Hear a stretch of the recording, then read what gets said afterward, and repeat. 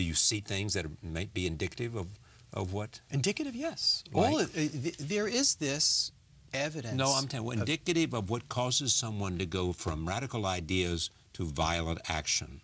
Most don't. That's a tiny percentage. Okay, So, but what about no? the- there's no. There's no. There's no Twitter uh, moment. There's nothing online. There are no diaries that we know of. There's nothing where it says we're going to do the X. There's no friend that says, ah, yes, he did hint to me that he might take action like Right, this. right, right. That we don't have.